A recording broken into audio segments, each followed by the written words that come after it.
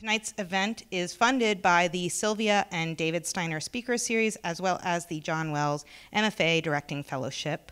And I'm going to hand the mic to Miso Wei to introduce our guest. Miso is a professor of stage and production management in the School of Drama.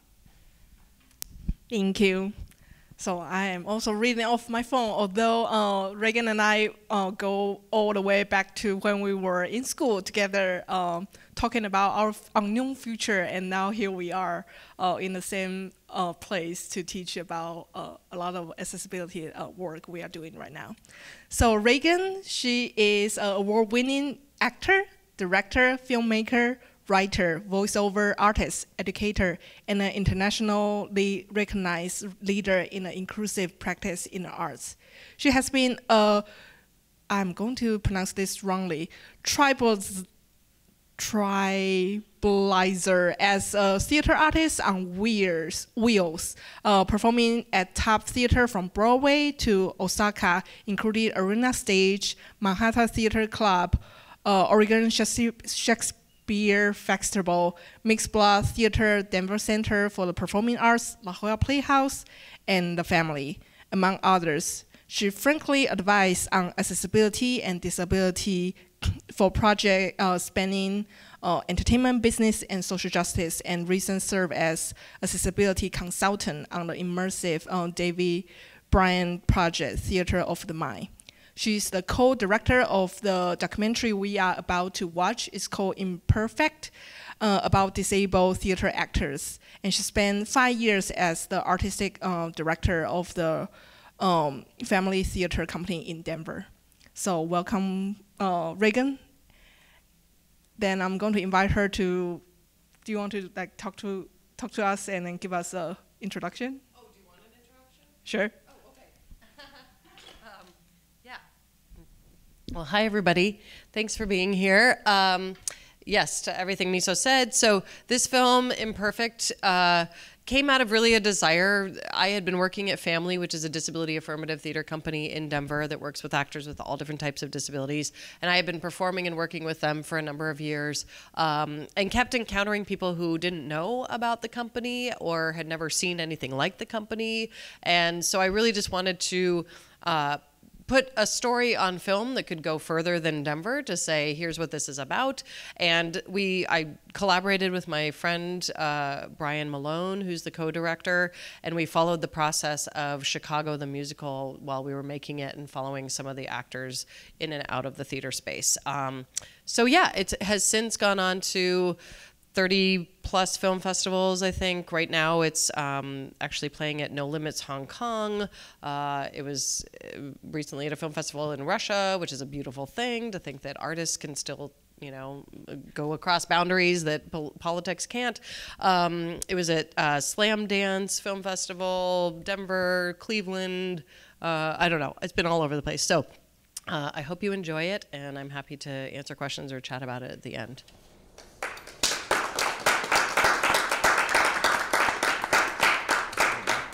Yeah, so I don't know if anybody has questions, thoughts, anything. Um, otherwise, I can just kind of tell you a little bit about the film and how it came to be, and then if that raises anything. But feel free to just jump in. Yeah.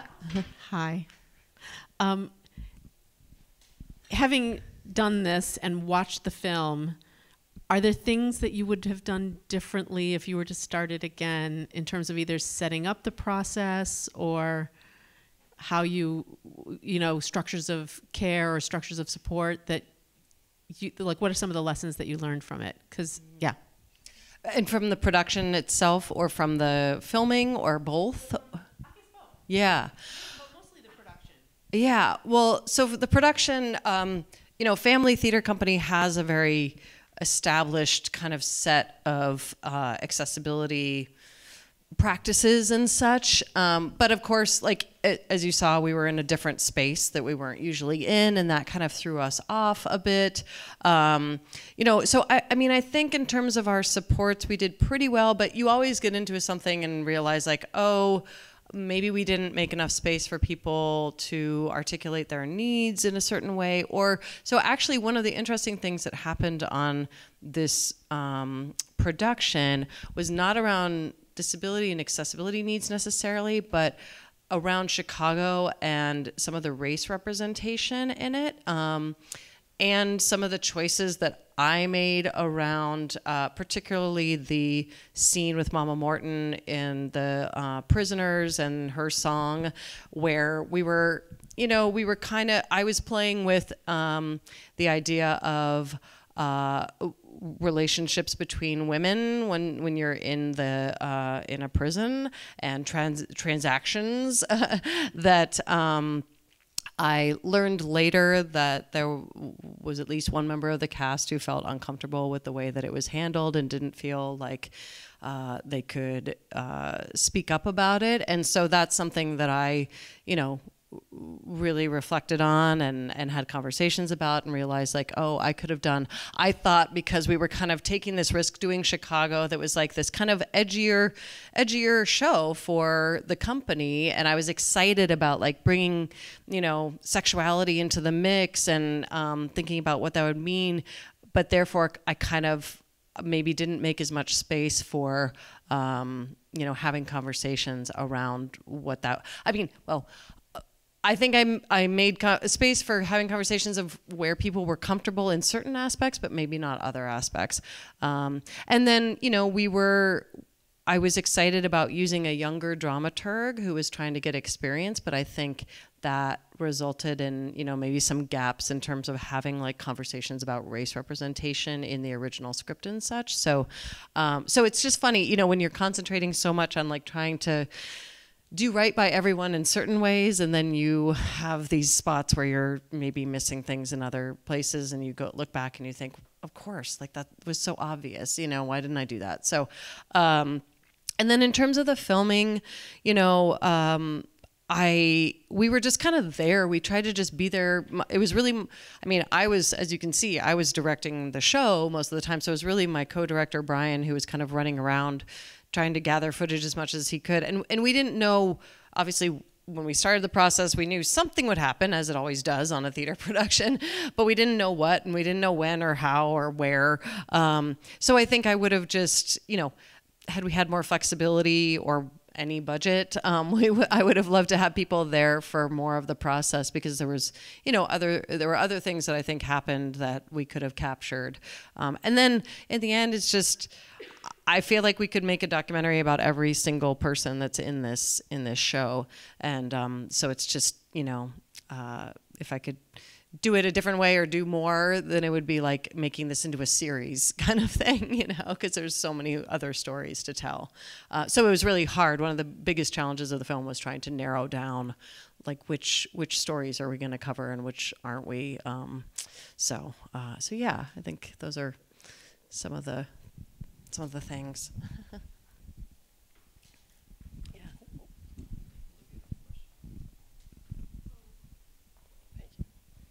Uh, yeah. So just kind of on a similar um, thread of like, if you had like all the time and the money and the budget in the world, like we're not, you know, thinking of the logistics side of things. But I think while watching this, it's made me think a lot about like, I don't know, the standards of theater that we have, and I was wondering like, if you were able to have all the time and all the money and all the people that could help, like what have you dreamt about that you might like rethink like the way that we totally do things? Like lighting was a huge topic here. Like could you restructure like how you would do lighting or staging and I don't know, it just made me really think about that and I was wondering if you have any thoughts on that. Yeah, that's thank you for that question. I love the ability to just dream. um, I mean, I think the first thing. So all of the actors in Phamaly are paid, but they're not paid well, uh, like so many people in theater. Um, so I think the first thing would be like giving, providing a living wage for actors who are are um, work with Phamaly and beyond. Um, you know, I think in terms of the accessibility, like you know, Phamaly has a, a, a, substantial budget for the show, but it's not. I mean, it's nowhere near, you know, like a regional theater budget. Um, and and I think there are things like that could tap into the creativity. So, like for this set, you know, we built ramps um, on various points of the stage. We have the railings everywhere so that hopefully blind and low vision actors can guide themselves. And but like the the number of things that you could do if you had more budget, if you had elevators that you can build into the you know into the stage, if you had um, different ways of entering, or yeah, different. Um, ability to play with uh, or to design you know we had we had dreamed about building a Phamaly theater um, for a while while I was there, and you know, trying to make it like the most technologically advanced for like acoustics, right? So that you have that much more control over what you're designing, as opposed to a big, huge event room that you're kind of overhauling to work for a theatrical production. Um, so I think there are just yeah, a lot of those like technical advanced technical things that maybe we're finding elsewhere in theater, but um, that Phamaly itself just didn't, you know, doesn't have the the capability to do. And then all the things that like could be invented that we haven't even thought of yet. And if we had the budget, you know, um, I mean, on any number of shows, you know, all of the designers who work on Phamaly productions are so creative, and they come up with just like, you know, whether it's costuming or whether it's props and you know, innovative things, and it's just just like if they had more budget to see what they could do, I just can't even imagine. Um, so and then and then you know I think uh, for audience experience too. I mean, Phamaly incorporates a, a variety of accessibility options for audiences, but I think if we had even more options to you know have everybody everybody have a captioning device or i mean we we use uh, when i was there we used open captioning but um, you know just to make that even more nuanced like where can you make it a more individual experience in terms of what sensory um, what sensory uh, input are, can people control on their own so that they can go to any production uh, or any performance of the show and still feel like they can get like a kind of tailored experience in terms of what they're looking for um, as well as just like being able to make all seating modular so people can sit wherever in the theater they want.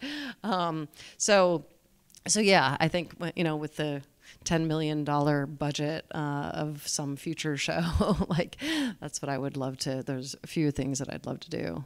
Yeah.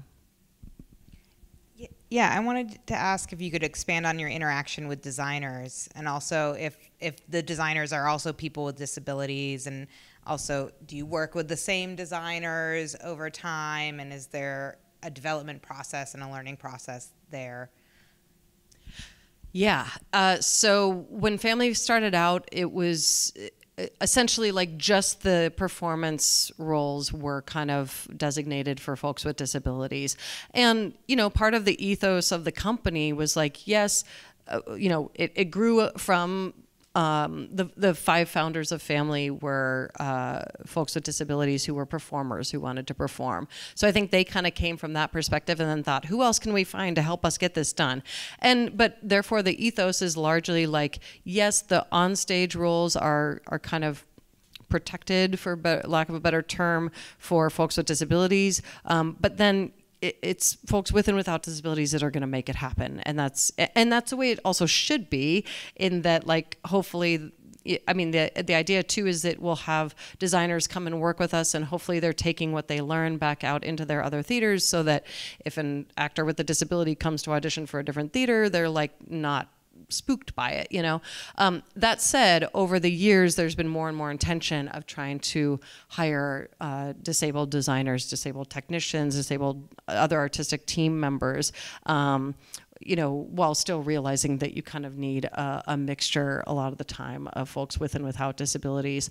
Um, and I do think, you know, it's interesting on this process. Um, I was very uh, so also like choreographers. We'd been working with um, Debbie, who you saw, and Ronnie, uh, longtime choreographers with Phamaly, and I was really interested in bringing in like a couple of additional choreographers to start kind of training with them because it's such a unique experience that is different for. I mean, and I've worked with not just choreographers, but a number of designers, directors, and I, you know, one of the things Phamaly has always wrestled with is like how to onboard new folks to try to give them an idea of what it's going to be like. And there are multiple times that we've onboard or tried to onboard folks, and then they get to the end of a process and they're like, "Oh, I had no idea what it was going to be. Like I thought I knew," and you know, um, so it's like, how do you?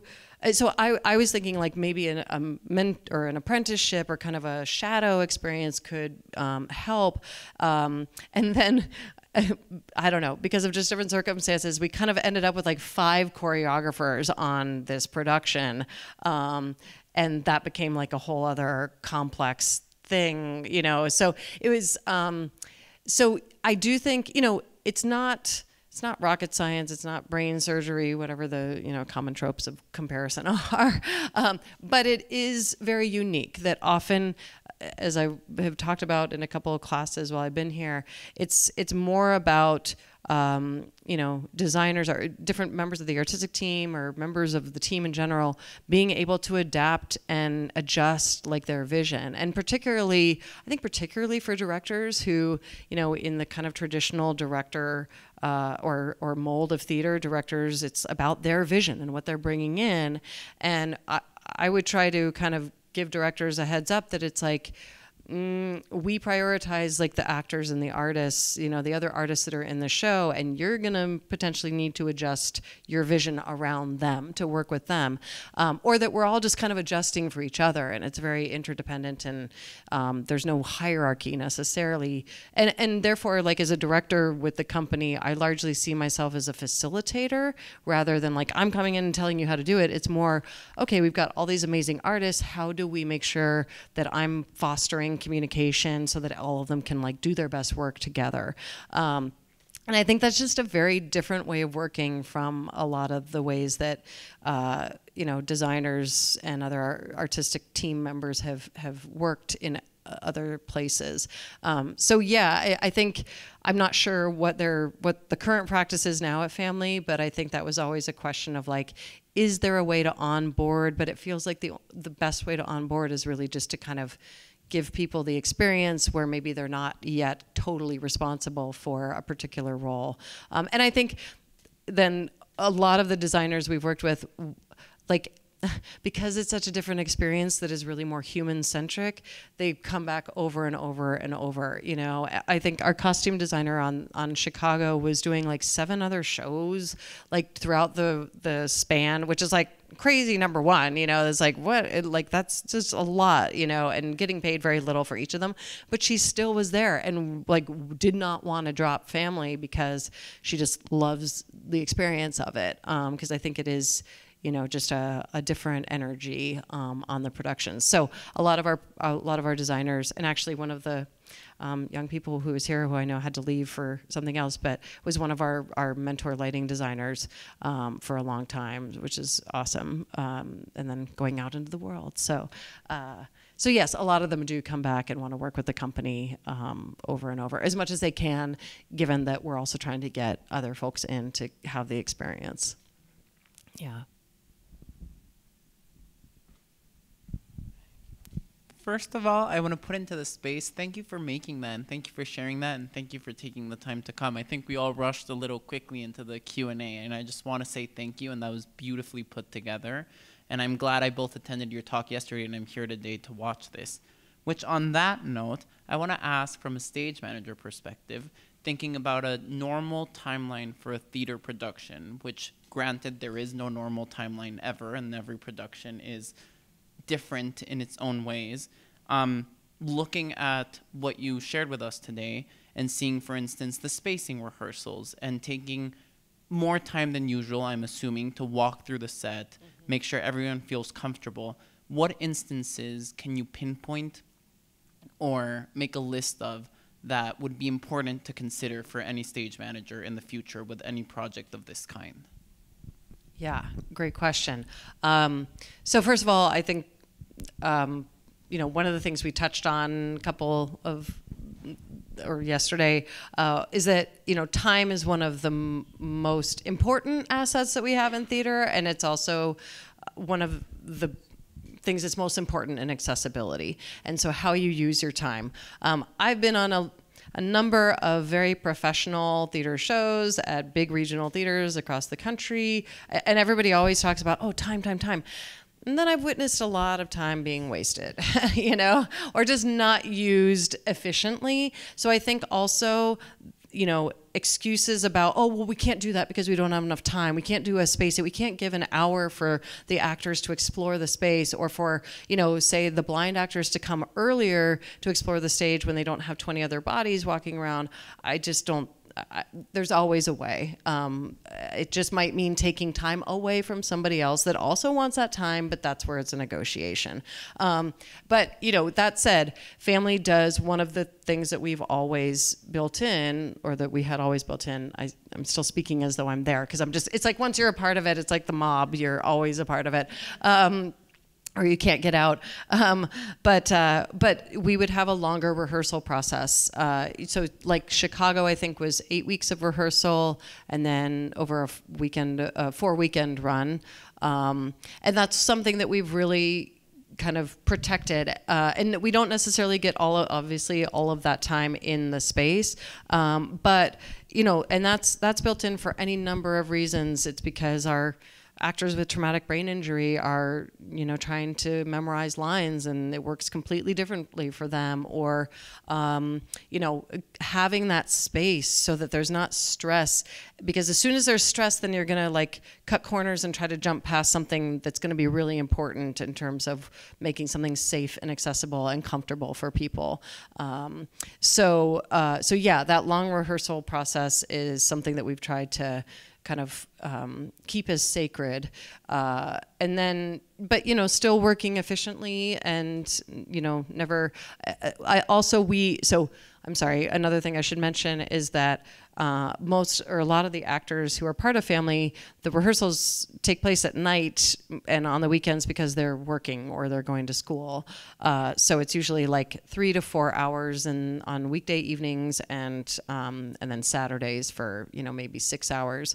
Um, so it's already kind of in that it's you're not getting eight hour rehearsal days that you can and then we usually typically only do five hours or five days a week so that we can do a couple days have a day off and then you know three days. And we're very intentional about trying to build that time thoughtfully. So we're usually the director or at least you know when i was there um, we would give them a general rehearsal schedule like up front that showed like all of the potential rehearsal days.